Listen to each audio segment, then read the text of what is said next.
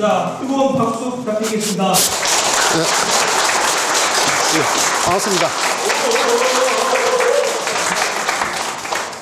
그, 그럼 이, 이거로 바로 되나요? 근데 안 되는 것 같은데. 아, 녹음용. 예. 예. 어, 반갑습니다. 그, 굉장히 보고 싶은 분들도 계시고, 자주 뵙던 분도 계시고, 또 혹시 뭐 병원에서 좀 뵙던 분도 있는 것 같습니다. 그, 제가 우리 그, 어, 수영에 있는 센텀 병원에도 정형외과 전문의가 한 10명 있고, 또 서부산에 있는 센텀에도 9명 있는데, 제가 오늘 직접 나온 이유는 제가 그 같은 의사를 해도 30대 때 보는 시야와 40대 때 보는 시야, 50대 때 보는 시야가 다 다르더라고요. 그래서 제가 좀 연세 있으신 분들 계시니까 제가 이제 육자에 입문을 했습니다. 그래서 좀 그런 같은 동명상련의 마음으로 그 제가 느끼는 것과 그걸 좀 편한 마음으로 좀 말씀 올리겠습니다. 이제 저 위에 좀 벗고 하겠습니다.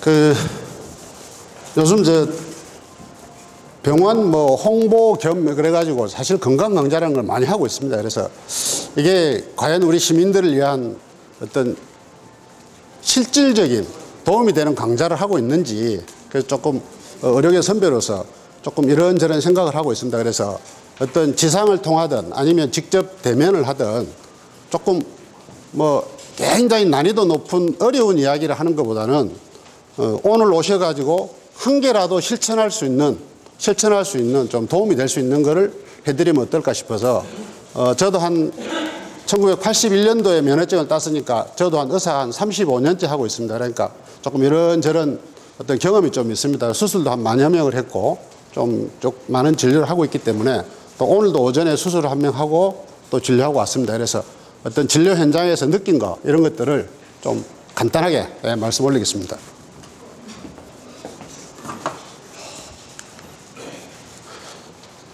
저는 이제 제 정형외과사를 하지만 또 개별적으로는 그 정형외과가 워낙 그 다친 외상이 많기 때문에 뭐 절단이라든지 척추 다치면 또 하반신 마비되고 그렇지 않습니까? 그래서 좀 장애자가 많이 생깁니다. 그래서 손상 예방 협회라고 그래서 이미 한 번 다쳐버리면 너무나 장애자가 많고 또 가족 본인뿐만이 아니고 가족들도 많이 그 고생을 하시기 때문에 손상 예방 협회라는 걸 좀 창립을 해서 지금 그것도 상당히 오랫동안 그걸 했고, 그다음 뭐 봉사라든지 이런 걸 해서 사회활동도 좀 하고 있습니다.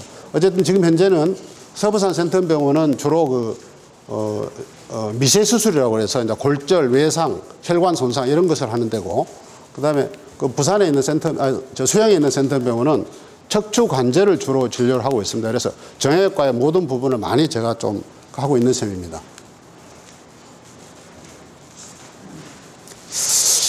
지금 이렇습니다. 그러니까 건강 강자, 건강을 생각할 때, 어, 어떤 분들이 오늘도 이렇게 87 되신 할머니인데 어떤 어떤 치료를 하자 그러니까 나는 이렇게 오래 살 줄 몰랐다.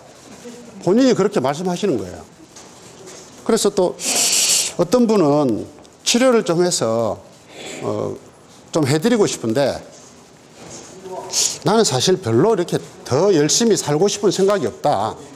그리고 자식들 보기도 좀 힘들다. 그래서 좀 치료에 대해서 상당히 여러 가지가 조금 그냥 단순한 치료만 할 수 있는 게 아니고 그 부분에 그분의 가정 환경, 그 다음에 어떤 금전적인 문제 여러 가지를 같이 배려를 해야 될 것 같습니다. 그런데 지금 한 50대들은 보면 비교적 무슨 개인적인 보험이라든지 연금 이런 게 좀 하고 있는 분들이 좀 많습니다. 그래서 이제 병원에서 입장에서 볼 때는 지금 50대 중반 밑으로는 나중에 자기들이 나이가 들었을 때 어느 정도 자기들이 치료를 받고 노후 생활을 안락하지는 않더라도 최소한의 문화생활 할 정도를 준비하고 있다고 일반적으로 생각하고 있습니다.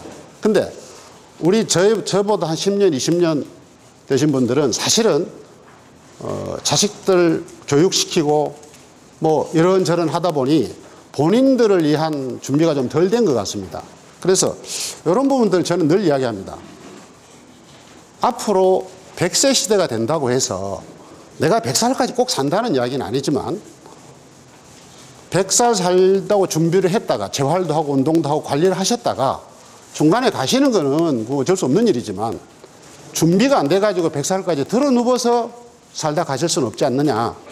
저는 이렇게 생각합니다. 그래서 일단 목표를 좀 우리 학교 다닐 때 옛날 이야기 있지 않습니까? 서울대학교를 목표해야 한 부산대학교는 간다 이렇게 생각하지 않습니까? 그죠? 그래서 목표를 한 100살 정도 목표를 하셔가지고 열심히 활동도 하시고 운동도 하시고 마음으로도 그래 준비를 하시면 나중에 훨씬 더 실질적인 상황이 됐을 때 좀 대처하기가 더 쉬우리라 이렇게 생각합니다. 지금 불과 현대의학이 이렇게 어, 우리 인류의 수명을 연장하게 된 데는 놀랍게도 그렇게 오래되지 않았습니다.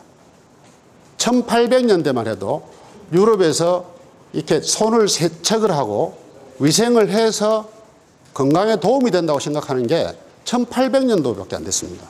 그게 무슨 소리냐면 병원에서 오스트리아에서 산부인과 의사를, 의사가 애를 출산을 받는 경우하고 조산소에서 받는 경우가 사망률이 병원에서 받는 게 더 많았습니다. 왜냐하면 의사가 시체 해부나 뭐 이거 한 가운에 이렇게 묻은 거를 닦지 않고 그냥 애를 받은 거예요. 그러다 보니까 조산소에는 그런 일이 없다 보니까 사망률이 높았다는 겁니다. 그 무슨 뭐 그런 이야기를 할 수 있나 그게 불과 한 200여 년 전 이야기입니다. 그래서 우리 인류의 수명을 연장시키는데 제일 첫 번째가 위생과 공중보건의 혁명입니다. 이것에 대해서 우리가 이제 알게 된 거죠.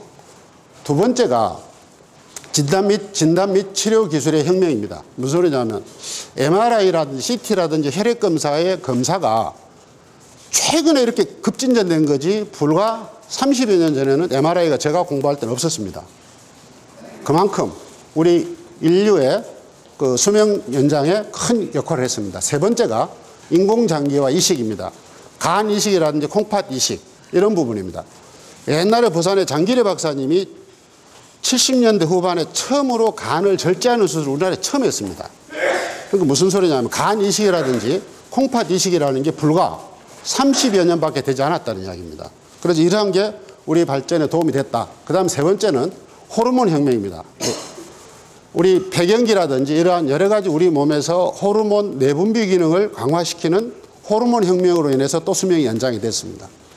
그 다음에 지금 마지막에 했던 게 유전자 치료 혁명은 뭐냐면 그, 그 인간 유전자 지도라는 전원 프로젝트라는 게 완성이 됐습니다. 한 10여 년 전에. 그래서 그때는 이렇게 생각했습니다. 우리 인류가 모든 질병을 다 정복할 수 있으리라. 그래 생각을 했습니다. 근데 유방암이라든지 일부 질환을 제외하고는 정복이 안 되는 겁니다.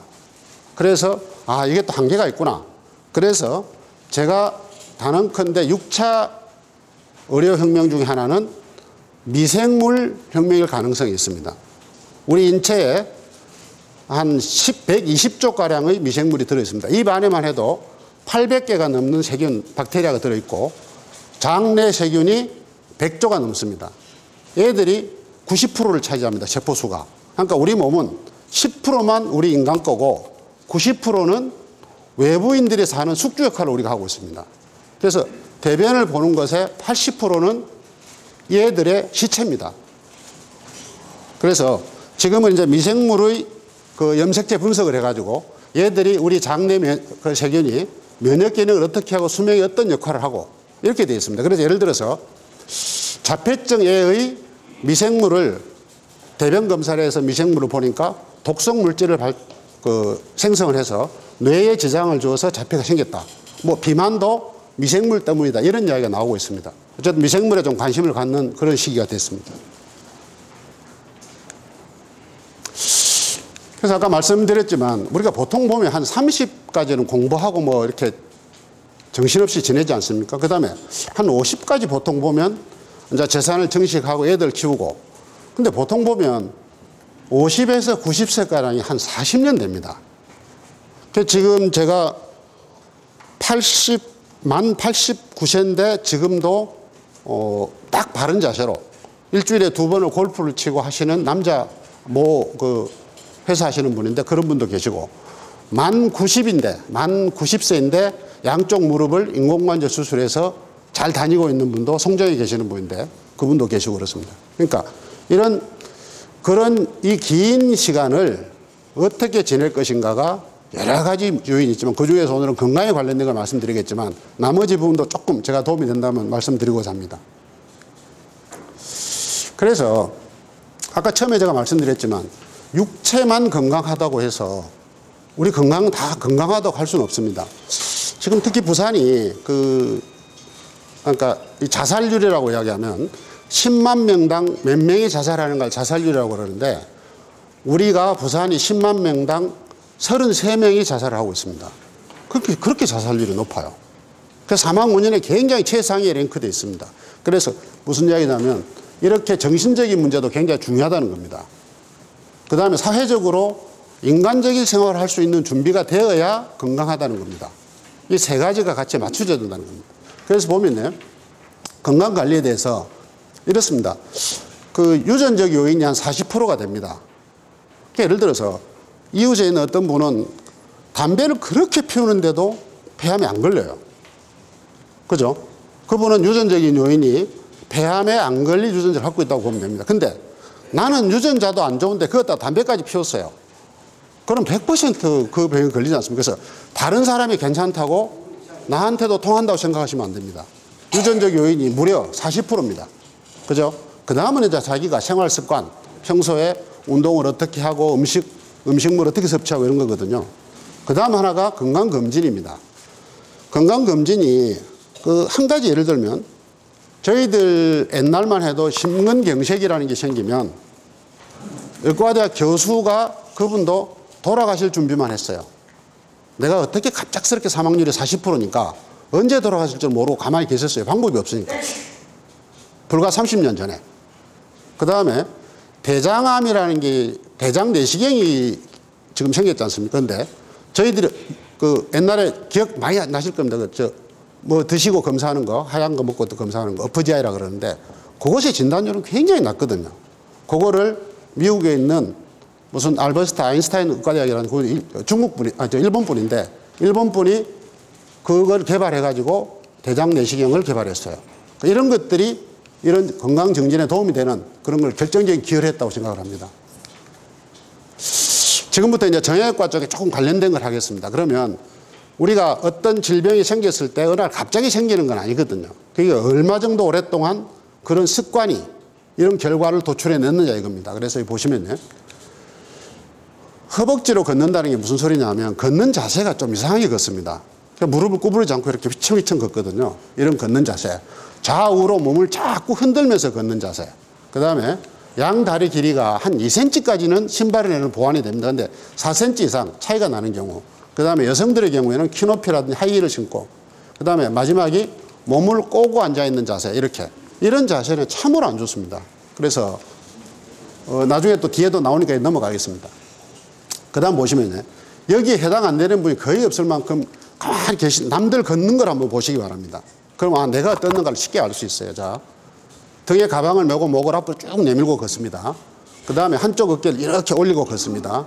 높은 하이힐 신고 걷습니다. 그 다음에 핸드폰을 보면서 고개를 숙이고 걷습니다. 그 다음에 몸을 심하게 좌우로 흔들면서 걷습니다. 뒷짐을 지고 앞으로 구부린 채로 걷습니다. 이런 것들이 모아져서 보시면 이렇게 올바른 신체 자세는 뭐냐면 정면에서는 우리가 그래도 비교적 거울을 보면 정면에서 보는 분들은 많습니다. 근데 측면에서 한번 보시기 바랍니다. 요 귀하고 어깨하고 골반하고 무릎하고 복숭아뼈가 직선으로 있는지를 집에 있는 거울을 보고 꼭 확인하시기 바랍니다. 자, 우리 뭐, 우리 두개골이 평균 4 내지 7kg입니다. 그러니까 좀 큰 사람 한 7kg, 그 다음 작은 사람 한 4kg라고 본다면 이거를 평생을 목이 우리 받치고 있습니다. 근데 목에는 여러분 보시다시피 이 등은 갈비뼈 12개가 받치고 있고 그 다음에 허리는 옆에 근육들이 좀 있습니다. 근데 목은 목밖에 없거든요. 얘가 4 내지 7kg를 우리 60년, 80년을 받치고 있습니다. 근데 이 자세가 비틀어져서 앞으로 구부렸다 할 때 목에 당연히 병이 생길 겁니다. 그렇지 않습니까? 그죠? 목에 많이 생겨요. 그래서 그런 것들은 생활 습관과 관련이 많고 저녁에 주무실 때도 이 안에다 넣어서 이 기가 이 직선으로 되도록 바른 자세로 눕는 게 굉장히 중요합니다. 보시면 어느덧 옛날에 그렇게 바르던 자세가 이 자세로 되는 거를 한번 검증해 보시기 바랍니다. 자세가 이렇게 되고 있거든요. 그 여러 가지 원인이 있지만 운동 부족도 있고 생활 습관도 있지만 특히 저는 머리를 늘 강조합니다. 목을 목하고 일직선이 되도록 늘 계시는 습관을 해주시기 바랍니다. 앞으로 빠지고 가슴 안으로 배는 볼록해지고 허리는 들어가고 등뼈는 이렇게 돼 있고 이렇거든요. 이 자세를 이렇게 되지 말라는 소리, 이렇게 하라는 소리가 아닙니다. 자, 그러면요. 우리가 이 아파트만 리모델링 하는 게 아니고 몸도 어느 정도 쓰고 나면 다시 리모델링을 해야 됩니다. 그렇지 않습니까? 그죠? 리모델링 해야 될 거 아닙니까? 그 리모델링 할 때 가장 중요한 게 우리는 보통 보면 유산소 운동과 무산소 운동을 그냥 별 계획 없이 하고 있습니다. 근데 만일 예를 들어서 근육도 일주일 내내 굉장히 힘든 운동을 해버리면 그는 근육도 질소가 차여가지고 도리어 노화를 촉진합니다. 그래서 심한 운동 선수들이 수명이 그래 길지 않습니다. 그래서 적절한 운동을 배분해서 하셔야 된다. 그게 무산소 운동이 근력 운동입니다. 근력 운동. 근력 운동을 일주일에 한 3일 정도를 한다. 근데 근력 운동을 뭐 연세가 있으신 분들이 뭐 예를 들어 헬스클럽 가서 하진 않을 거 아닙니까? 그죠? 그래서 그 물속에서 걷기, 그 다음에 바른 자세로 걷더라도 조금 다리에 힘을 주고 아랫배를 당기는 힘을 주면서 걷는다든지, 그 다음에 헬스용 자전거를 조금 천천히 힘을 주면서 걷는다든지 이런 것들도 근력 운동에 들어갑니다. 그래서 하루는 유산소 운동을 한다면 다음은 무산소 운동을 하고 교체를 해서 두 개를 좀 교체를 하자 이겁니다. 그 다음에 운동을 좀 하시고 나면 땀을 흘리거나 꼭 미네랄이나 염분을 꼭 섭취를 조금씩 하시기 바랍니다. 미네랄 보충이 상당히 중요합니다. 그래서 요래 쭉 실족으로 인해서 실족으로 인해서 다친 분들이 너무 많습니다. 그래서 그 요양병원에 가보면 저는 그 부산이 서울보다도 요양병원 많은 데 대해서 불만이 많은 사람입니다.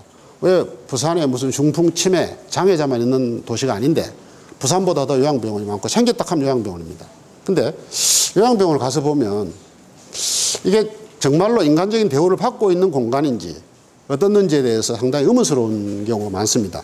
뭐냐면 우리가 정상적으로 자연사를 하게 되면 돌아가실 때 보면 얼굴이 하얗고 뼈가 야여가지고 행복한 즐겁게 쉽게 돌아가시거든요. 고통스럽지 않게. 근데 요양병원에서 의식이 없는 분들을 이 튜브로 해서 자기가 먹지 못하는데 튜브로 억지로 영양을 공급하다 보니 얼굴은 빨갛고 살은 이만큼 쪄 있고 그런 분들이 심지어는 7년째 그래 살고 있습니다. 그 본인도 고통스럽고 그다음에 그 비용은 우리가 사회 경제적 비용으로 우리가 사실 세금으로 비조하고 있는 거거든요. 그래서 그 부분은 동의하지 않고 있는데 하여튼 그 참고로 그런 문제가 있다는 거를 좀 그거 하시기 바랍니다. 그래서 자주 넘어지는 거는 이렇습니다. 자, 근육이 약화되고 있습니다. 하체 근력을 심장이나 암 검진 못지않게 하체 근력 강화 운동이 굉장히 중요하게 생각하셔야 됩니다. 하체가 무너지면 집으로 말하면 골조가 무너진 겁니다. 그래서 하체 근력 운동을 굉장히 중요하게 생각하시고 걸음걸이를 아까 신체 리모델링 보시다시피 오늘부터라도 내가 평소의 자세와 걸음걸이만 바로 해도 상당한 병을 질병을 예방하고 치유할 수 있습니다. 그 다음 균형이라든지 우울증이라든지 그 이비인후과 가서 그 저 저 달팽이과이라든지 균형에 대한 것은 꼭 치료를 하셔야 됩니다. 이게 어지러워서 쓰러진 분도 상당히 많습니다. 그 다음에 시력 때문에 눈이 잘 안 보여서 쓰러지는 분, 그 다음에 머리, 어깨, 관절염, 척추 이런 것들이 많아서 우리가 자주 넘어져서 잘못하면 고관절하고 척추뼈가 부러지면 그 중에 어 제가 좀 음, 한 말씀이지만 미국 통계에 의하면 40%가 1년, 1년 내에 바깥 출입 못하고 돌아가시는 걸로 되어 있습니다. 40%가. 그러니까 10명에 4명이 예를 들어 주위에 어떤 분이 가다가 살짝 넘어져서 골반뼈가 부러졌다 하더라. 그리고 정형외과 가서 수술했다 하더라. 좀 있으니까 요양병 갔다 하더라. 그 나중에는 영안실에서 연락 온다는 거죠. 그래서 그만큼 중요하다는 겁니다. 그래서 저는 늘 이야기합니다. 골다공증이 65세 이상에서는 특히 여성에서는 골다공증이 여성 암보다도 사망률이 높다는 걸 알고 계시라는 겁니다. 여성 암보다도. 근데 암 검진하고 뭐 심장 검진은 잘 다니는데 골다공증 이것에 대해서는 별 잘 개념이 없으세요. 그건 좀 오늘 그좀 그 말씀드리겠습니다. 그래서 몇 번 이거 같은 거라서 어쨌든 걷는 자세는 바른 자세로 이렇게 좀 걷는 걸 신경을 쓰시기 바랍니다. 자, 세 가지가 있는데 제가 각자 다 강의를 하는 내용인데 총론적으로 중요한 것만 말씀드리려고 예, 가지고 왔습니다. 그래서 어, 골다공증하고 그 다음에 어, 무릎 관절염, 그 다음에 척추관 협착증이라는 세 개는 한 세트로 다닙니다. 한 세트로. 그래서 예를 들어서 무릎에 인공관절 하신 분이 좀 있으면 무릎 수술했는데 다리가 저리고 이상하다. 그런 협착증이 있는 거거든요. 그래서 협착증이 더 심해서 협착증을 먼저 수술하신 분이 있습니다. 그럼 또 무릎 관절이 안 좋으신 분 있거든요. 그럴 때 어떻게 가장 기본은 뭐냐면 우리 몸에서 몸은 위에서부터 치료를 해옵니다. 뇌에 이상이 있으면 여기서부터 해야 되듯이 목하고 허리가 안 좋으면 목을 먼저 치료해야 됩니다. 마찬가지로 허리가 협착증이 있고 무릎 관절이 안 좋으시면 협착증으로 인한 신경 증상을 치료하고 무릎을 수술해야 됩니다. 근데 신경 증상을 놔놓고 무릎 휘어진 것만 바로 하겠다고 수술하셨는데 의사는 수술 잘 됐다 하는데 나는 죽겠는 거예요. 그래서 그거는 순서가 잘못됐다는 겁니다. 그 세 가지는 그 중에서 골다공증이 워낙 중요하기 때문에 제가 골다공증을 먼저 말씀드리겠습니다. 골다공증은 어떤 부분들은 골다공증 때문에 내가 어디가 아프다 그러는데 골다공증은 원래 증상이 없는 고혈압과 같은 겁니다. 나중에 골절이 되는 걸 이야기하는 거지 지금 내가 골다공증이 있다고 해서 아프지 않습니다. 그래서 아프지 않으니 답답할 거 없으니 그냥 지나는 거거든요. 그래서 그게 완전히 무르익어서 골절이 됐을 때 그때 치료하기 늦다는 겁니다. 아까 말씀 올린 대로 40%가 사실은 치료가 안 되는 거거든요. 그래서 제일 허리, 대퇴부, 손목, 어깨 이렇습니다. 그래서 허리, 그 다음 키가 심지어는 한 7, 8cm가 줍니다. 주는 이유는 뭐냐면 척추에서 이렇게 조금씩 조금 집으로 말하면 이렇게 축대가 무너지듯이 밑으로 내려앉습니다. 그러다가 그러는 것. 그 다음 두 번째는 척추는 앞쪽 뼈가 약하고 뒤에가 튼튼하거든요. 그러니까 앞쪽이 짜부러지니까 몸이 앞으로 구부러져요. 구부러지니까 또 키가 작아져요. 그래서 할머니들이 내가 젊었을 때 키에 비해서 한 8cm나 키가 너무 작아졌다. 그거는 골다공증으로 인해서 서서히 오는 겁니다. 키가 작아지는 겁니다. 그 다음에 활동량이 제한되고 질이 떨어지고 어, 그렇습니다. 그래서 골다공증이 한 25세에서 우리 뼈가 최고 골량이라는데 그건 정해진 건 아니지만 평균적으로 그렇다는 겁니다.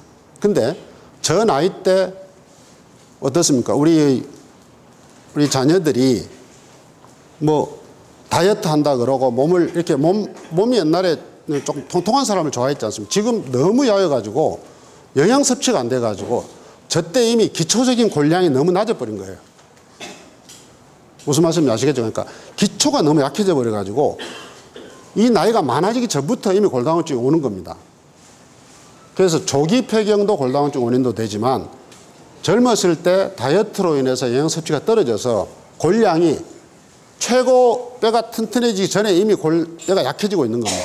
25세라는 걸 꼭 기억해서. 그 다음에 나는 관리도 잘하고 있는데 뼈가 안 좋은 사람들은 사실은 우리 몸에서는 어쩔 수 없는 유전적인 요인도 상당히 있습니다. 집안, 집안 내력도 있고 그런 것도 있고요. 성장 호르몬 갑상선, 예, 그렇습니다. 그래서 연 한 0.3에서 0.5% 정도씩 조금씩 조금씩 떨어지다가 여성에서는 폐경기 때 급속도로 팍 떨어집니다. 그래서 폐경기 때 예를 들어서 그 집안에 유방암의 병력이 있다든지 아니면 유전자 검사를, 유전자 검사 지금 요즘 가능합니다. 유전자 검사를 해서 그런 위험성이 적다면 100% 여성 호르몬 섭취를 하셔야 됩니다. 그 다음에 그런 위험성이 있는 집안이기 때문에 나는 여성 호르몬 섭취를 유방암 위험되면 못하겠다. 그런다면 천연 호르몬으로 해서 용량을 좀 줄여서라도 드시고 그와 동시에 골다공증을 예방하는 조치를 같이 하셔야 됩니다. 그때 급속도로 낮아진 거는 어떤 방법으로든지 다시 올릴 수는 없습니다. 그래서 그걸 꼭 참고하시기 바랍니다. 그래서 이 폐경, 흡연, 음주, 그 담배도 상당히 골다공증이 안 좋습니다. 그래서 그렇고요. 운동 부족, 영양 섭취, 저체중. 체중이 너무 야인 사람들이 골뼈에 상당히 안 좋습니다. 골절. 한 번 골절된 사람들은 반대측에 골절될 확률이 2.5배에서 4배 정도 많습니다. 그러니까 한 번 부러졌다 그러면 늘 조심하셔야 됩니다. 가족력은 굉장히 중요합니다. 가족력. 자, 그러면요. 요게 지금 뼈가 이제 골다공증이라는 거고 이게 무릎 관절이 물렁뼈가 따라가서 없어지는 거거든요. 이거는 어떤 내가 저것의 중요성을 인지하는 그 순간부터 예방을 하도록 노력을 하자 이런 이야기입니다. 노화가 다 버리면 좀 그렇지 않습니까? 그래서 그래서 고혈압이 뇌출혈과 뇌졸중의 원인이 되듯이 골다공증은 골절의 원인이 됩니다. 그 나중에 골절로 되는 거죠. 그래서 예를 들어서 40대에 내가 골다공증이 골감소증이라고 그래서 이제 뼈가 약해지기 시작하는 거죠. 그때 증상 하나도 없습니다. 그 다음에 골다공증이 상당히 검사해보면 수치가 많이 안 좋은데도 불구하고 증상이 없어요. 그러니까 나는 괜찮다고 생각하시는 거예요. 그 다음에 남성에서도 상당히 골다공증이 많이 있으니까 65세, 지금 의료보험으로 60세 이상은 골다공증 검사가 만 원입니다. 만 원. 본인 부담이. 그러니까 그 65세 이상은 1년에 한 번 정도씩은 꼭 골다공증 검사를 해보시기 바랍니다. 그래서 좀 뭐 여러 가지 있는데 일단은 약 생명에 관련된 만큼 중요하다 이런 것이고 반대측에도 생길 확률이 많다. 뭐 그다음에 이제 뭐 혹시 그저 엉덩방아 찍거나 이게 실질적으로 흔히 있는 일이라서 말씀드리겠습니다. 어, 침대에서 잠깐 떨어지거나 해서 엉덩방아 찍었습니다. 근데 여기 좀 아프다 하는데 병원 가서 찍어보니까 괜찮다 그래요. 아 괜찮겠지. 근데 그 안에서 조직이 약간 그런 엑셀이 안 나타나거든요. 그래서 그 증상이 3주 이상 가면 3주 지나서 한번 엑스레이 찍으러 다시 가보면 살짝 금이 가 있는 경우가 많이 인지됩니다. 그래서 그게 내가 다쳤는데 병원 가기 괜찮다 하더라 그래서 아픈데 계속 지내지 마시고 한 3주 정도 지나도 안 없어지면 한번 가서 찍어 보시기 바랍니다. 그 다음 두 번째는 이 골반에 이 대퇴골 경부라는 골절이 있는데 병원 가니까 골절이 있는데 안 어긋났는데 왜 수술하러 하는 얘기거든요. 그러면 그 어긋나지 않고 금방 가 있는 골절이 낫는데 뼈가 붙는데 한 6개월 걸립니다. 어떻게 하시겠습니까? 이걸 골반 여기를 기부스할 수도 없고 그럼 움직여야 될 거 아닙니까? 그죠? 그러면서 움직이면서 10 내지 27%에서 어긋난다는 거죠. 서로 낑겨 있는 골절이 아닌 경우가 그렇습니다. 그래서 내가 이거를 수술을 떼지 않고 딱 피부를 통해서 그냥 몸만 딱 박는 게 있습니다. 이걸 받고 2주 내에 바로 걸어 다닐 것인지 아니면 몇 달을 누워 있을 것인지는 어느 게 더 뭐 더 이상 재론할 여지가 없거든요. 그래서 나이 드신 분들은 하루라도 빨리 움직이셔야 됩니다. 가만히 누워 있으면 안 되거든요. 그래서 아 이런 경우는 이런 이유 때문에 수술 하나 하는구나 하고 꼭 본인이 아니라도 주위에 가족이나 지인이 있을 때 참고하시기 바랍니다. 척추골절이 이런 부분 아까 말씀 다 올린 겁니다. 허리 아프고 뭐 이렇게 앞으로 구부러지는 걸 후만증이라고 합니다. 그 다음에 코, 키가 작아지고 운동량이 감소되고 이 폐, 그러니까 이게 저 심폐 기능도 많이 떨어집니다.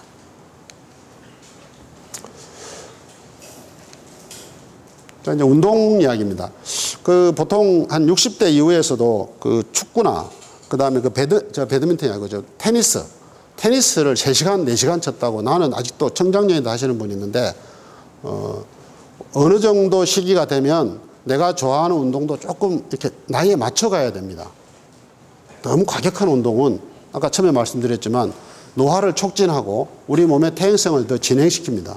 그래서, 어, 보시면요. 이건 꼭 제가 한번 읽어보겠습니다. 조깅, 조깅. 배드민턴까지는 괜찮습니다. 배드민턴은 그걸 그렇게 크게 막 또 세게 그거 하지 않으니까 계단 오르내리기, 체조, 빠르게 걷기, 자전거 타기, 춤추기, 가벼운 산책, 에어로빅, 수영입니다. 그렇죠? 근데 이 중에서 제일 내가 말씀드리는 게 자전거 타기는 유산소 운동과 무산소 운동이 같이 됩니다. 그래서 60세 이후에서는 가능한 밖에서 하는 자전거를 하지 마시고 실내 운동용 자전거를 돌리시고 그거를 하는 방법이 그냥 가볍게 빠르게 돌리면 유산소 운동에 더 도움이 되는 것이고 속도를 줄여서 다리에 힘을 주고 운동을 하면 그거는 무산소 운동인 웨이트 근력 운동이 됩니다. 그래서 그 몇 년 전에 돌아가셨지만 저희 어머님이 1919년생이었는데 92살까지 바깥 출입 다 하시고 했는데 제가 다른 건 아무것도 하지 마시고 굉장히 게으른 분이었는데 운동 자체 싫어하셨는데 자전거만 좀 타시라 했습니다. 그래서 92 돌아가시 2주 전까지 바깥 출입 하시다가 돌아가셨습니다. 그래서 저는 자전거 회사에서 좀 표창장을 좀 받아야 됩니다. 자전거. 그래서 그만큼 충분히 관절 초기, 관절 초기에도 계속 병원 다니면서 연골 주사 맞고 약 달라는 분이 있는데 실내 운동용 자전거를 6개월만 딱 하고 나면 그렇게 심하지 않는 관절, 아, 선생님, 내 약 안 먹어도 안 아픕니다. 그럽니다. 힘있게 힘있게, 힘있게 하는 겁니다. 근데 왜 그게 조절하는 게 있는 자전거면 더 좋은데 뭐 꼭 그런 건 아니라도 뭐 하면 됩니다. 조절하는 게 된다면 약간 약하게 해서 하시고 좀 약간 쪼여서 하시고 두 가지가 유산소, 무산소 같이 운동이 됩니다. 그 다음에 피해, 피하는 거 운동이 지금 이렇습니다. 테니스, 골프, 볼. 골프는 전 세계에서 우리나라처럼 골프 좋아하는 나라가 없을 것 같습니다. 왜 저렇게 열심히, 일본 골프장이 다 망한 이유가 정상적인 근무 시간에 가정주부들이 왜 골프장에 있습니까? 그렇지 않습니까? 그죠?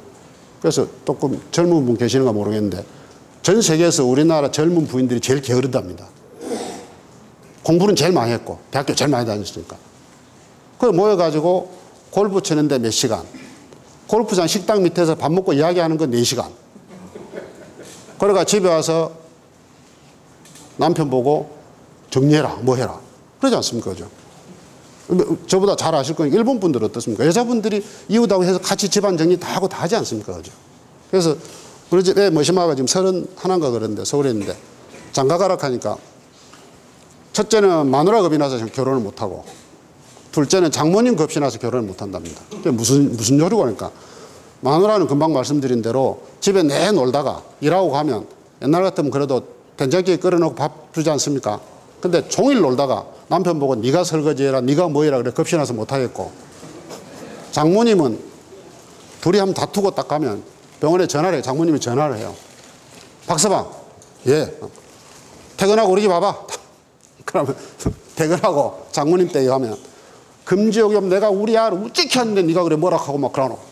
부부싸움하고도 장모님만 잔소리해야 되니까 그래서 결혼을 못 한답니다. 그래 하지 마시기 바랍니다. 그래서 피할 운동입니다. 그죠? 그래서 테니스, 골프, 볼링.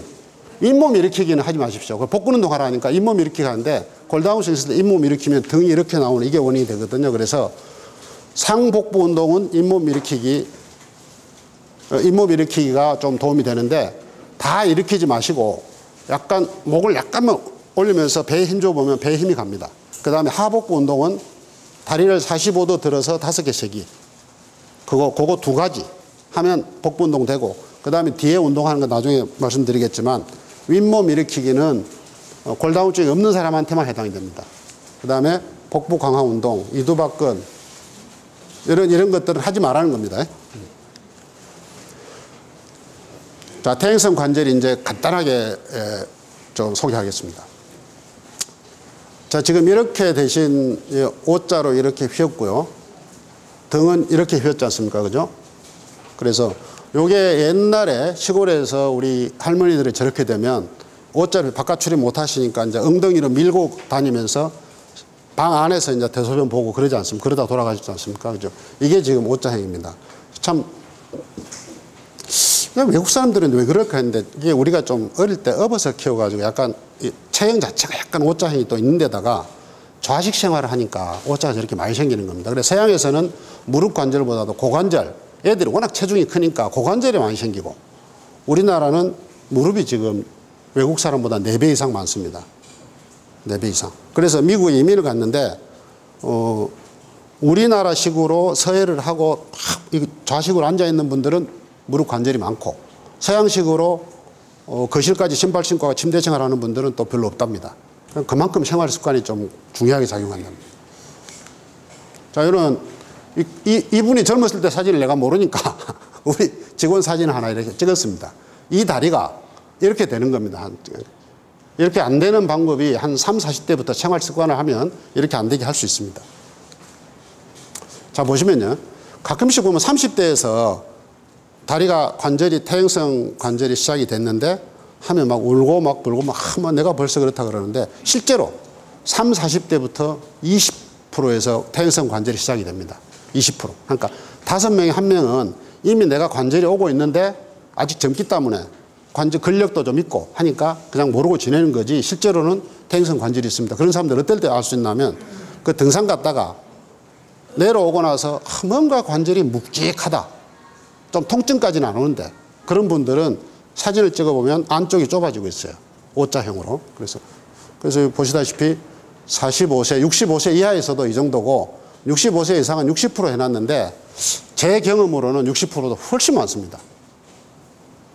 심하게 병원에서 치료해야 될 정도가 60%지 실제로는 90%가 아니겠느냐 그렇게 생각합니다. 자 원인은 뭐 여러 가지 있겠지만 뭐 어쨌든 우리가 직립 걸어 다니기 때문에 자기의 본래 체중에다가 어, 지구 중력 때문에 밑에서 빨아 끌어 당기니까 한 100kg 정도가 일반적으로 무릎 관절에 하중이 옵니다. 그랬는데 이게 체중이 너무 많으면 더 힘들 거 아닙니까? 체중도 있고 그 다음 두 번째는 안쪽 바깥쪽으로 체중이 똑같이 실리면 나이가 80이 넘어도 잘안 따라가요. 그래서 한쪽으로 치우쳤을 때 빨리 달린다. 나중에 사진 보시면 이해가 될 겁니다. 그 다음에 우리 이제 어렸을 때 보통 그 관절에 화농성 관절이라든지 뭐 이런 원래는 또 옛날 무릎에 그 저 기억하시는가 모르겠는데 제가 한 정형외과 의사를 초창기 할 때만 해도 그 고관절이나 무릎에 결핵도 많이 생겼습니다. 결핵. 그래 뻐정다리 되신 분도 있었고요. 그런 변형, 선천성 변형도 있고 어, 젊었을 때 다쳐가지고 연골이 손상이 온 사람들 이런 사람들도 관절이 빨리 옵니다. 그래서 왜 무릎에 그렇게 많을까?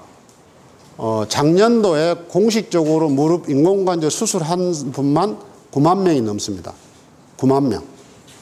9만 명이 무릎 인공관절을 갈아 끼웠거든요. 그런 나라는 전 세계에서 인구 대비 제일 우리나라가 많습니다. 그래서 하지 체형이 조금 우리가 약간 오자형 체형이 아니냐 그런 거 하나 있고 그 다음에 후천적으로 업어서 키우는 거. 그 다음에 아까 말씀드린 대로 좌식 생활. 그래서 식당 같은 거 있는데 의자 이렇게 앉아서 식사할 수 있는데 굳이 올라가서 무릎 개고 앉아 식사하시는 분들은 나는 65 넘거든 무릎 갈아 끼우겠다 하고 올라가 앉아서 드셔야 돼요. 그 다음에 남자분들 우리 할 때도 저는 늘 이야기해 고스톱 칠 때도 그좀 두드리는 재미 없더라도 책상에 앉아서 하시라는 겁니다. 맨바닥 이렇게 앉아가지고 옷자로 해서 한 두세 시간 하고 나면 무릎 관절이 성할 리가 없습니다. 당연히 허리도 앞으로 구부러지고요. 이렇게, 이렇게 하니까. 그 고스톱 하시는 분들이 더 이래가지고 하늘 보고 하지는 않지 않습니까? 구부리고 하죠. 그러니까 두 가지 다 그렇습니다. 그게 결국 쌓이고 쌓여서 우스게 되는 겁니다. 자, 지금은 이제 서서 밀대로 청소하고 집안 청소 그렇게 하시지 않습니까? 그렇지만 얼마 전까지만 해도 전부 다 무릎 꿇고 이렇게 밀고 일하지 않았습니까? 그 다음에 시골에 우리 할머니들 집안 어, 밭일 하시면 쪼그리고 일하지 않습니까? 그죠? 그것 때문에 다리가 안쪽이 딸게 돼요. 안쪽이. 그래서 이게 참 문제입니다. 한, 제가 지금 통계를 안 내봤는데, 한 65세에서 70세 이상의 시골에 일하신 할머니들은 반 이상은 무릎 수술하리라 생각을 합니다. 그만큼 무릎이 다 문제 생겼어요. 왜 그러면 출산도 하고 그렇게 고생하고 또뭐 폐경기니 뭐 이런까지 있는 여자들한테 왜 이렇게 무릎이 또 많을까?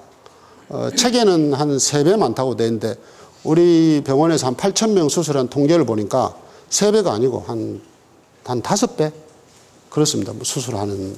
그 물론 이제 조금 여, 어, 여자가 수명이 좀 더 길기 때문에 그것도 좀 여러 가지 요인이 있지만 어쨌든 여성한테 훨씬 많습니다.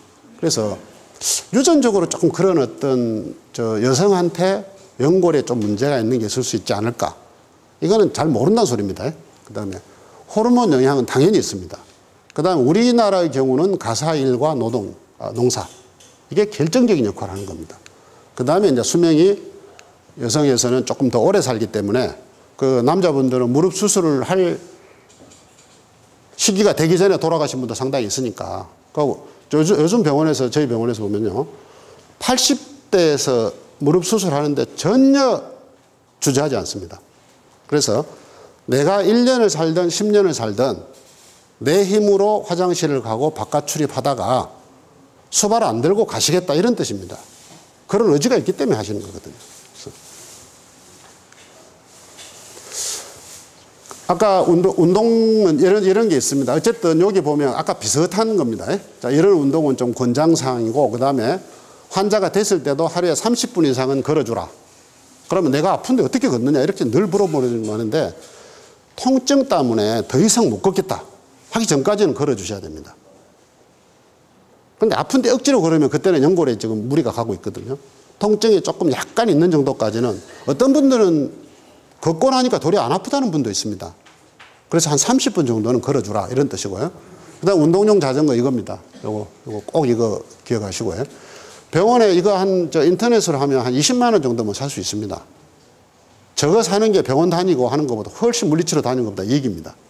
그다음에 우리 수영장에 지금도 나이 드신 분도 그 뭐 에어로빅 하고 저 저 저 아쿠아 하고 수영하러 많이 다니십니다. 다니시는데 수영만 딱 하고 오시지 마시고 수영하고 나서 물 이렇게 찬 데서 걷는 것 좀 하십시오.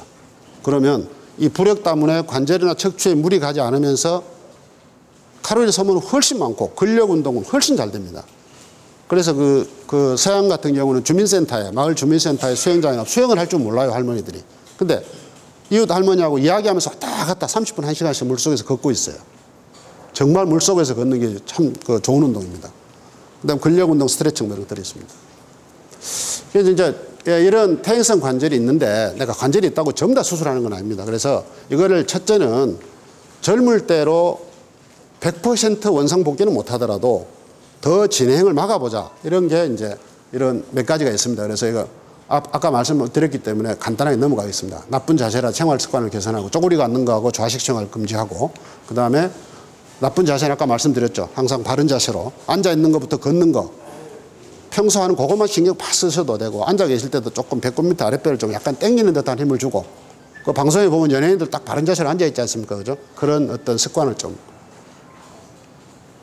그다음에 아, 심한 운동은 좀 하지 말고 그다음에 여기 나와 있습니다. 축구라든 테니스 나는 뭐 젊을 때부터 해서 70이 넘으면 나 축구 하나 못 살겠다.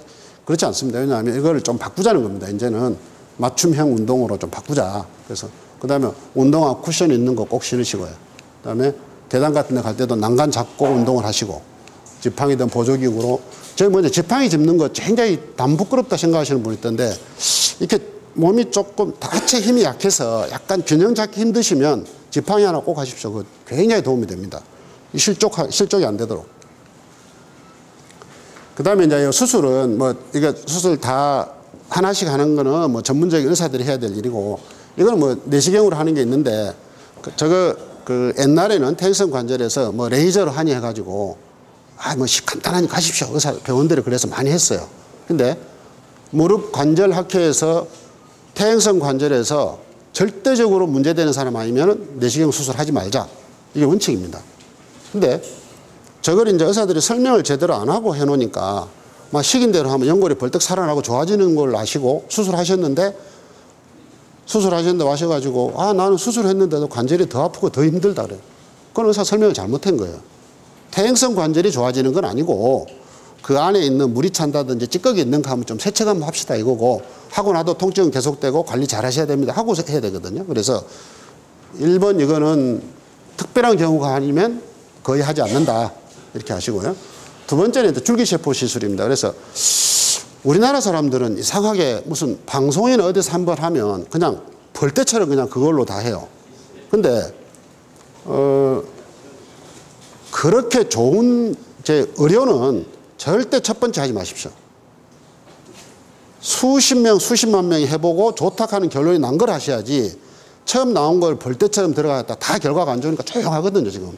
자, 한 10년 전에 미국에서 그 뭐 하버드 대학에서 뭐 원심 분리를 해가지고 골반 줄기 세포학을 했습니다. 그 그거는 뭐였냐면 50세 이하에서 관절 조금 짧은 구멍 뽕 날처럼 짧은 것만 해라 이렇게 이제 한 거예요. 근데 우리 어떻습니까? 나는 돈 보험으로 안 되는 거 300만 원 줄 테니 나, 나도 해도 적응이 아닌데 그걸 또 그냥 병원에서 또 뭐 돈 주겠다까지 했는지 했습니다. KBS 9시 뉴스에 해당 안 되는 사람 했다 해가지고 우리 병원에서도 한 30명 정도 돈 다 물리주고 그랬습니다. 그 무슨 소리냐면 해당 안 되는 건 안 되는 겁니다. 그래서 일단 그거 이제 거의 안 하고 있습니다.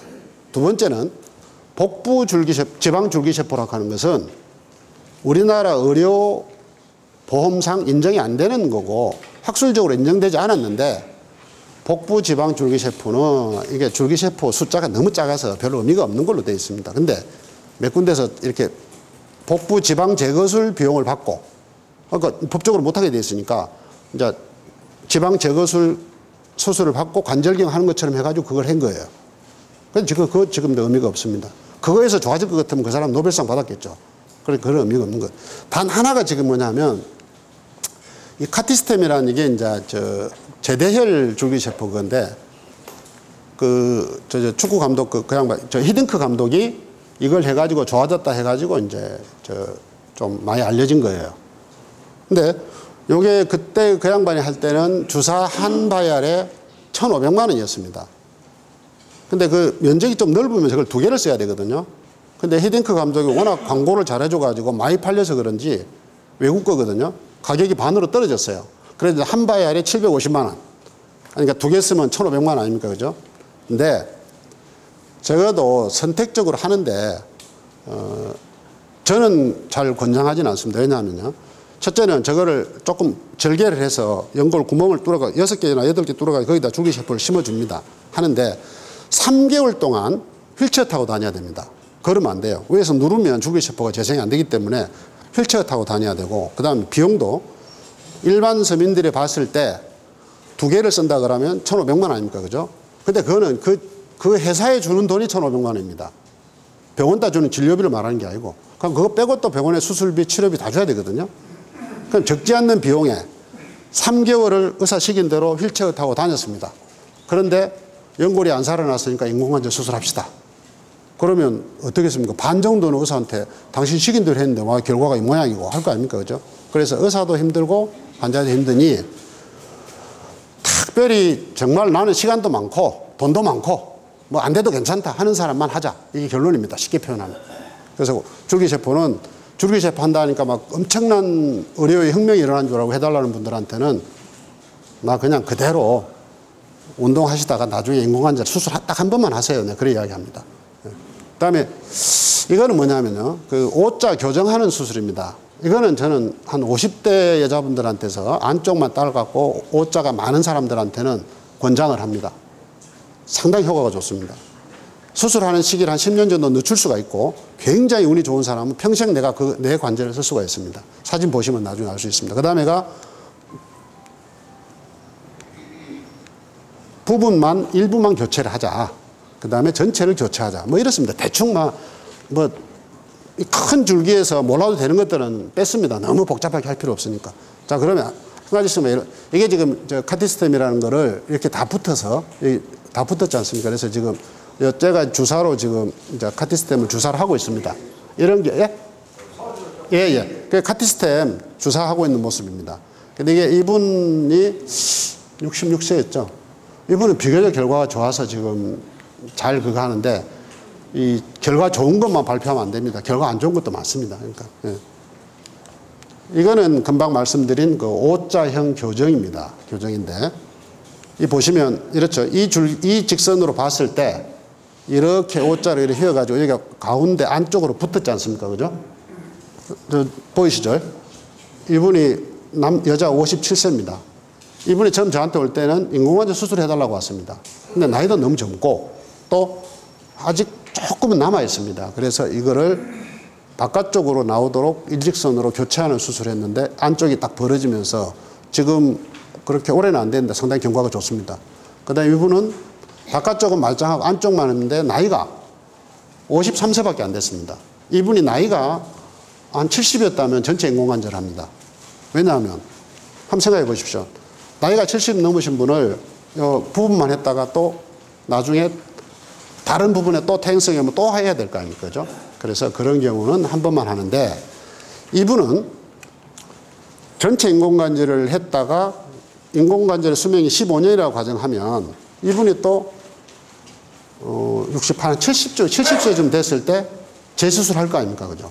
그래서 전체를 한 걸 재수술한 것보다는 부분만 이렇게 해놓으면 재수술하기가 좀 편합니다. 그래서 안쪽만 해서 이렇게 해놨습니다. 이분이 그냥 이 상태에서 평생 간다고 한 건 아니고 한 15년 정도 썼으면 좋겠다. 그래서 지금 잘 쓰고 있습니다. 이게 아마 한참 됐는, 한 5, 6년 된 것 같은데 잘 쓰고 있습니다. 그 다음에 이제 나이가 82세입니다. 그죠? 그런 경우는 전체를 갈아 끼운 수술한다. 무릎 이야기입니다. 그러면 무릎 수술을 왜 하는가에 대해서 어떤 분들은 또 다리가 옷자로 많이 휘었는데도 별 그렇게 많이 안 아프고 지낸 분도 많습니다. 그랬는데 문제는 통증도 있지만 바깥 출입이 자신도 모르게 활동량이 자꾸 줄어드는 겁니다. 그러다 보니까 이게 복, 배는 이렇게 축 처져서 이렇게 되고 심폐 기능은 떨어져서 다른 건강 상태를 잃게 된다는 겁니다. 그래서 무릎 수술이 꼭 무릎만 갖고 하는 건 아닙니다. 이 전체의 건강 상태를 보고 하자는 겁니다. 그 다음에, 아, 여기 나옵니다. 복부 비만, 심폐기능, 그 삶의 질이 떨어지고 침상생활로 간병이 필요하다. 뭐 이렇게 되길, 이렇게 안 하겠다는 걸로 수술하는 경우가 있습니다. 그래서 무릎 인공관절의 수명이 지금 이거는 기계적으로 90 내지 95%에서 15 내지 20년이라고 되어 있습니다.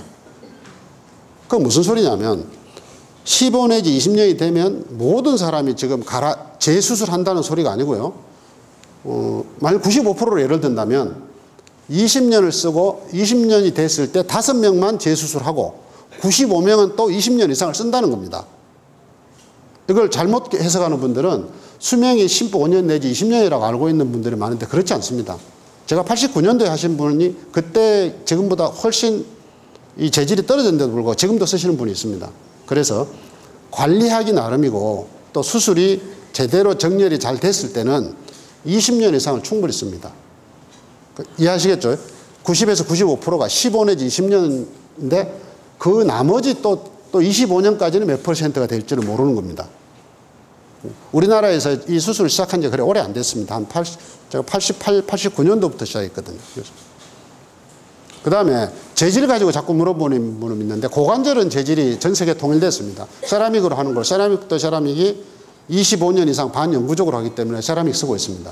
근데 무릎은 일본에 있는 회사 하나하고 우리나라의 그 마이너 제일 작은 회사에서 세라믹을 생산하고 있고 미국의 큰 회사들은 무릎은 세라믹과 관련이 없습니다. 그래서 무릎 관절 수술하는데 뭐 세라믹이나 재질을 물어보는 분은 잘 모르고 물어보는 겁니다. 이 고관절하고 무릎하고는 이렇게 기계적인 운동, 고관절은 볼앤 소켓이라 그래서 도는 거고 무릎은 왔다 갔다 하는 거거든요. 그래서 재질이 틀립니다. 예.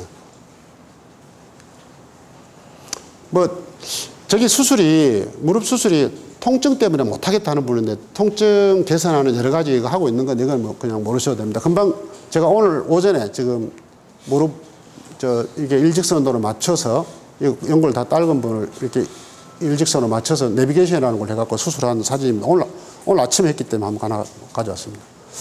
그 다음에 이제 척추 협착증, 협착증은 한, 한 5분만 이야기하겠습니다. 협착증은 뭐냐면 그 아까 처음에 골다공증, 무릎 관절염, 척추 협착증 세 개는 거의 동일한 질병입니다. 같은 맥락에서 보면 됩니다. 그래서 한번 생각해 보세요. 평생 우리가 허리를 구부렸다 폈다 쓰는데 그, 그 사이가 그 마모가 안 된다는 거는 조금 너무 심한 욕심이거든요. 그래서 당연히 퇴행성 척추라는 건 옵니다. 척추는 목에서부터 32개의 마디가 있습니다. 그 중에서 요추 4번, 5번이라는 데가 제일 운동을 많이 합니다. 그래서 거기가 제일 많이 딸가요. 딸으면서 디스크는 디스크만 신경을 누르는 걸 디스크병이라 그러고 협착증은 디스크 더하기 인대 더하기 물렁뼈 더하기 찌꺼기 해서 전체 원통이 좁아지는 걸 협착증이라고 합니다. 그래서 50대 이후에는 거의 대부분 협착증이지 디스크만 있는 거는 거의 없습니다. 디스크만 있는 거는 20대.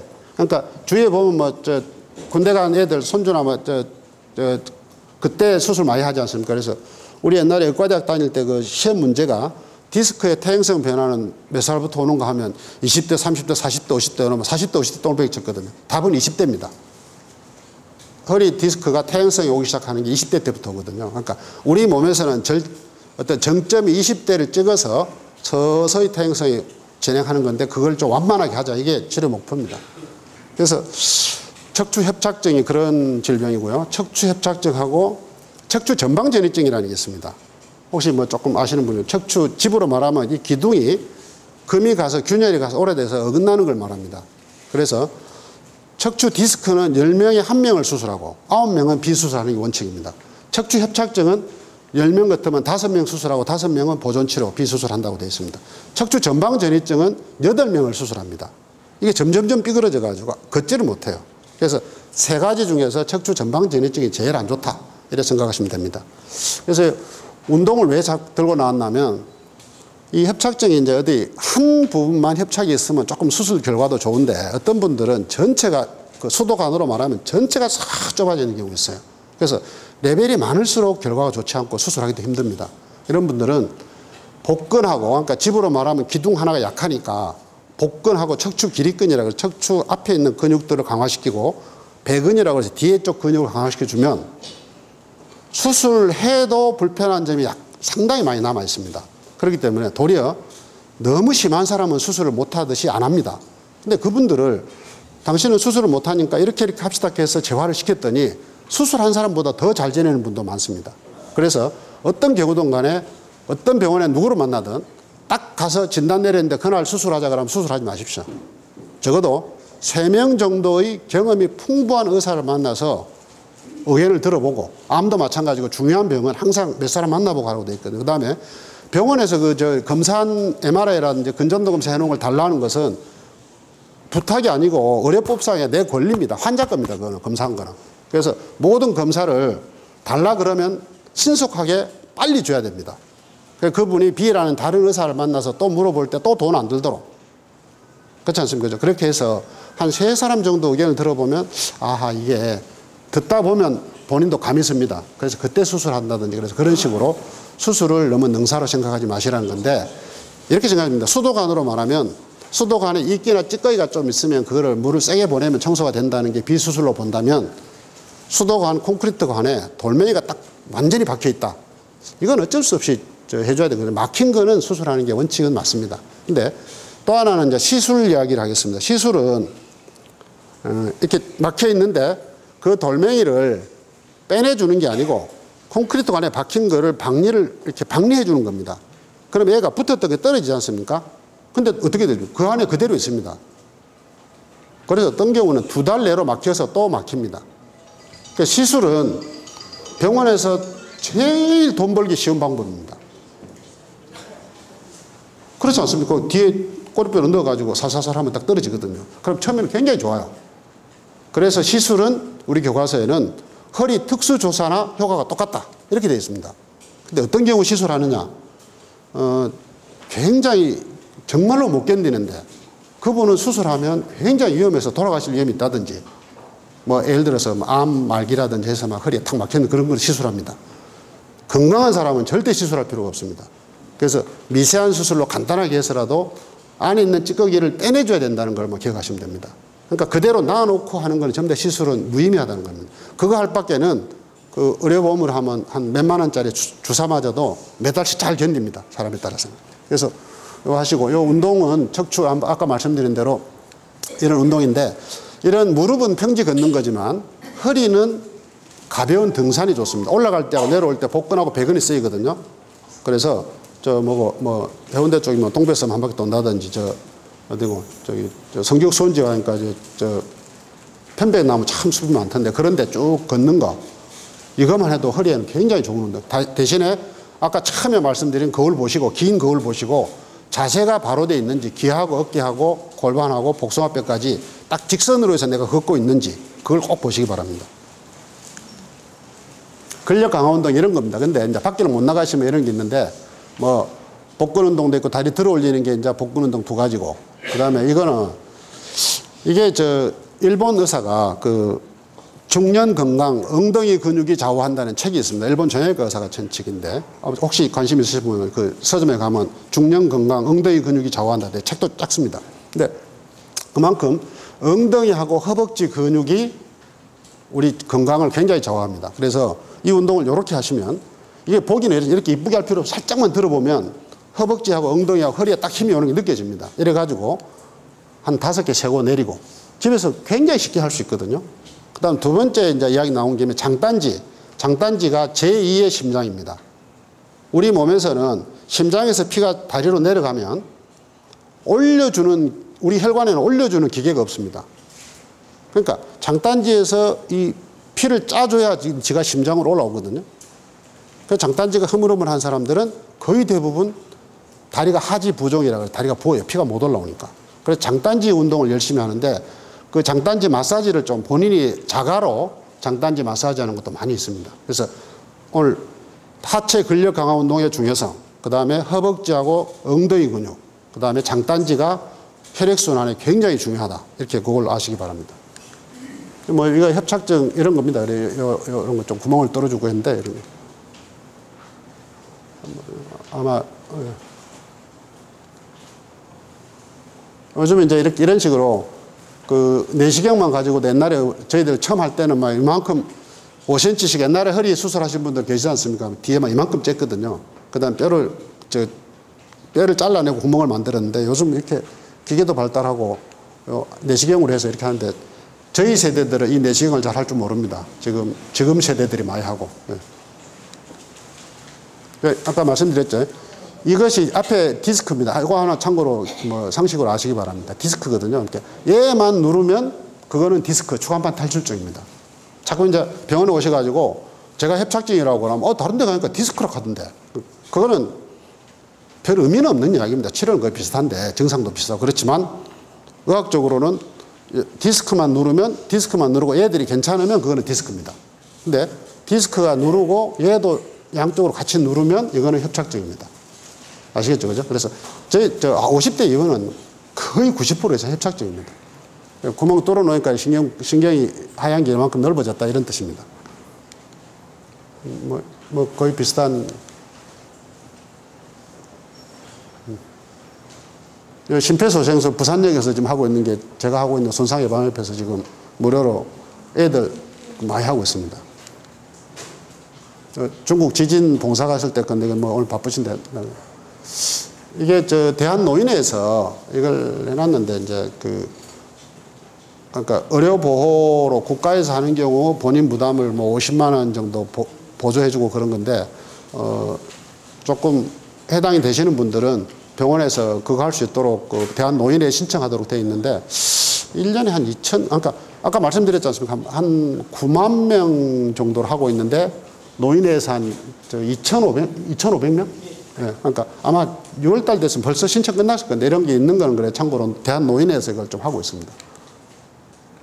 그 제가 안전도시 더블 그 부산 안전도시 하면 그 협의회 지금 시장님이 위원장이 제가 부위원장으로 어제도 회의를 주재했는데 그 안전에 관한 게 뭐냐면 이제 우리가 질병도 많이 중요하지만 사고로 가시는 분도 굉장히 많거든요. 그래서 무단 횡단한다든지 그 다음에 그저 그리고 그 조금 위험한 길을 걷는다든지 이런 것들을 할 때 조금 경사진대 다니는 거라든 할 때 안전에 대한 책임은 본인한테 일차적으로 있는 겁니다. 그러니까 좀 신경을 써 주십사고 말씀 올렸습니다. 그 다음에 이제 마지막으로 이건 뭐냐면 건강 있고 종교 연금은 건강은 금방 말씀드린 것들을 가지고 우리가 관리하기를 하고 그 다음에 이제 저도 제 동료나 주위에서 보면 이제 뭐 저도 가까운 친구가 혀암으로 전이돼가 죽기도 하고 그렇습니다. 그래서 나이가 들면서 이 옛날에 가장 큰 형벌이 가까운 사람들 저 세상 보내고 제일 오래 살겠다 그럽니까 그죠? 그래서 종교적인 어떤 꼭 어떤, 어떤 종교를 믿는다는 문제가 아닌 마음으로 어느 정도 종교적인 신념을 가져줘야 나이, 나이 드시면서 생활의 질이 좀 나아지리라 생각을 합니다. 그래서 그런 부분은 아까 말씀드린 대로 나, 나는 그냥 살기 싫다 그런 분들이 있을 때 병원에서는 뭘 해줄 수가 없어요. 그거는 본인의 문제거든요. 그래서 그런 부분에 관한 거. 그 다음에 연금 문제는 제가 저, 요 뒤에만 나올 겁니다. 여기 어딨냐면, 그, 얼마 전에 MBC에서 이제 그 도심 그 르네상스 재생 운동이라고 하고 있습니다. 하고 있는데, 이게 저, 혹시 아시는 분 아시는 모르겠는데, 그 맥죽지입니다. 범일 오동에 그 오보급창 있는 데 있는 건데, 여기를 쭉 다녀보면 여기서 한 몇 평도 안 되는 데서 우리 그 어른들이 많이 사셨고, 그 다음에 그 영주동 그쪽에 가보면 그 6.25 전에 민둥산일 때 이제 그 피난민 하기 전에 있었거든요. 그러니까 이런 데서도 생활하고 사는데 이렇게 너무 이 좋은 아파트에서 윤택한 생활을 해야만이 내가 노후가 행복하다라고 생각하는 분들에 대해서 내가 동의하지 않는다는 겁니다. 저도 저도 중간에 샌드위치 세대지만 고생을 해본 세대거든요. 그래서 저 이런 부분에 대해서 조금 조금 이렇게 낮추자 그런 개념으로 제가 말씀 올리는 겁니다.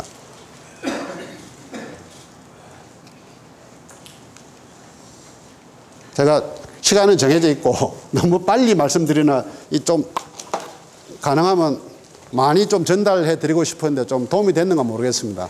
오늘 뭐 경청해 주셔서 감사합니다.